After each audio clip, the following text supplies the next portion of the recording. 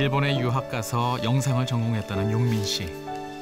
15년 전 우연히 서핑을 만난 후 모든 것이 변했답니다. 용민 씨는 서핑에 꼭 필요한 돈만 벌며 파도를 따라 살아가고 있습니다. 마치 유문민처럼 말이죠.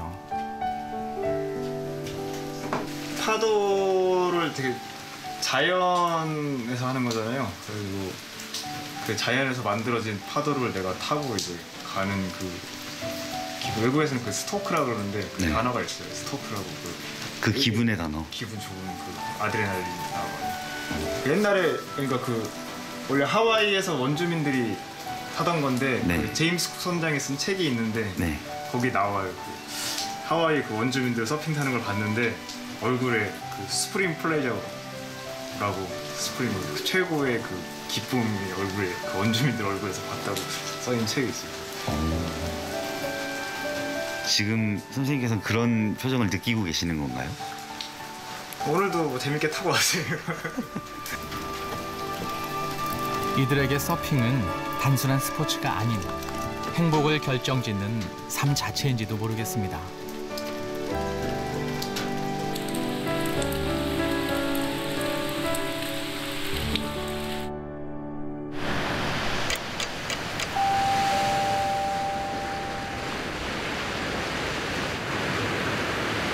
비가 그친 바다는 잔잔하기만 합니다. 서퍼들에겐 그저 안타까운 날이죠.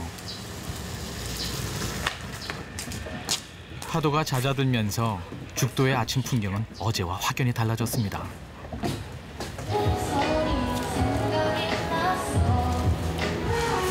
진짜 한가로우네요. 네. 한가로워요. 여유롭죠.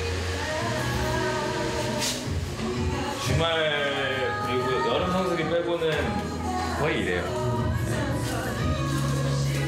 근데 교사님은 본인 삶이 이런 삶일 걸 혹시 상상해 보신 적 있어요?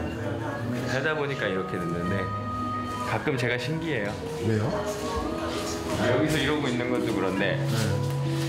어, 저는 좀 많이 돌아다녀 봤거든요. 그래서 지금 제 차도 저 차에서 자고 있어요. 아 생활 차에서 하신다고요? 예.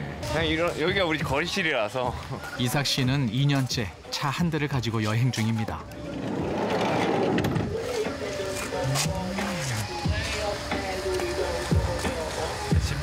아 여기서 주무시는 거예요? 예. 이렇게 생활하시는 거 얼마나 되셨어요? 전 바다에 있을 때는 항상 이 차에서 지내요. 집, 집이 있고요. 집이 없는 거 아니고.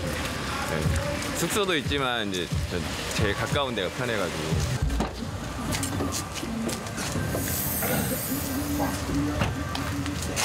어 있을 건 다 있네 커튼도 있고 여기 원래 사실 부엌이에요. 근데 지금은 이제 부엌이 필요 없어서 이렇게 그냥 수납장을 쓰고 있는데. 아 이게 부엌이에요? 네, 여기다 이제 가스레인지 올려놓고 테이블 놓고 이제 이렇게 밥 먹는 거고요.